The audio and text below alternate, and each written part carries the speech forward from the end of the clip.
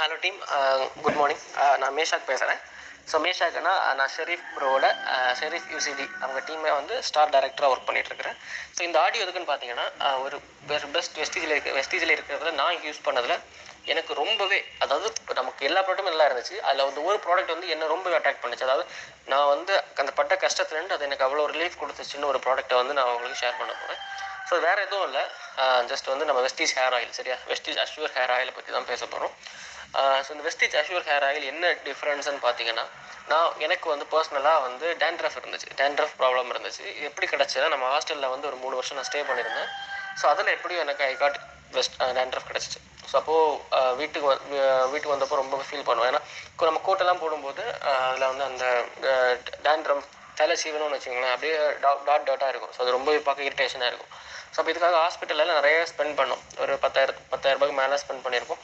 But வந்து எந்த ரிசல்ட்டுமே இல்லை. ஏன்னா நம்ம டேப்லெட் டேப்லெட் கொடுப்பாங்க. எதுக்கு டேப்லெட் கொடுக்குறாங்கன்னே தெரியாது. பட் டேப்லெட் கொடுப்பாங்க ஆயில் கொடுப்பாங்க. ஸோ இந்த மாதிரிலாம் இருந்துச்சு. ஒரு சாட்டிஸ்ஃபிகேஷனே இல்லை. ஸோ திடீர்னு ஒரு நாள் வெஸ்டீஸ் ப்ராடக்ட் யார் எந்த ரிவ்யூ நான் பார்க்கல. அதான் உண்மை. எந்த ரிவ்யூமே பார்க்கல. ஸோ என்ன பண்ணேன்னா ஜஸ்ட் வந்து நான் ஹண்ட்ரட் பி பர்ச்சேஸ் பண்ணும்போது எனக்கு கொஞ்சம் பிவி கம்மியாக இருந்துச்சு. அப்போ நான் வந்து ஒரு ப்ராடக்ட் ஆட் பண்ணணும். அப்போது ஹேர் ஆயில் பார்த்தப்போ ஓகே ஒரு ஆயில் ஒரு ஆயில் தானே. வேறு வேற நூற்றி அறுபத்தி மூணு ரூபா. சரி ஓகே போட்டு விட்றலாம் அப்படின்னு தான் ஆர்டர் ப்ளேஸ் பண்ணேன். ப்ளேஸ் பண்ணி நான் வாங்கி யூஸ் பண்ண ஆரம்பிச்சேன். யூஸ் பண்ண ஆரம்பிச்சு ஒரு பத்து நாள். ஜஸ்ட் ஒரு பத்து நாள் யூஸ் பண்ணுங்க. வேறு எதுவும் பண்ணல. பத்தே பத்து நாள்.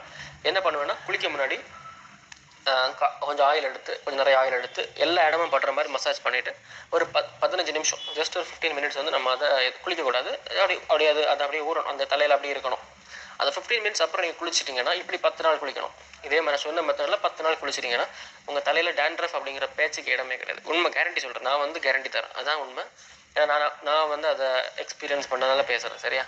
ஸோ பத்தாயிரம் ரூபாய் அங்கே இருக்குது நூற்றி அறுபத்தி மூணு ரூபாய் எங்கே இருக்குன்னு பார்த்துக்கோங்க. ம்? நம்ம வெஸ்டேஜ் ப்ராடக்ட் நூற்றி அறுபத்தி மூணு ரூபா தான்.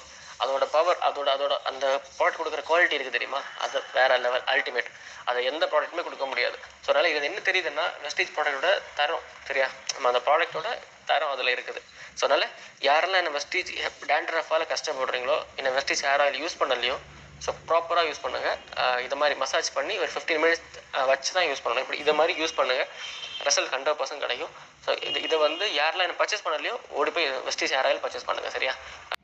ஓடி போய் வெஸ்டிஸ் ஹேர் ஆயில் பர்ச்சேஸ் பண்ணுங்கள் சரியா? ரொம்பவே யூஸ்ஃபுல்லாக இருந்துச்சு. நான் வந்து இதை இந்த ஆடியோ வந்து நான் நான் வந்து அவ்வளோ கஷ்டப்பட்டதில் நான் ரிவீல் ஆகிருக்கிறேன் ஸோ அது எனக்கு ரொம்ப சந்தோஷத்தை கொடுத்து நான் இந்த ஆடியோ ரெக்கார்ட் பண்ணி உங்களுக்கு போட்டிருக்கிறேன். ஸோ இதை பார்த்து இந்த ஆடியோ கேட்குற யாராக இருந்தாலுமே சரி இந்த யாரெல்லாம் வெஸ்டிஸ் ஹேர் ஆயில் யூஸ் பண்ணலையோ பெட் வாங்கி யூஸ் பண்ணுங்கள் okay team thank you visual.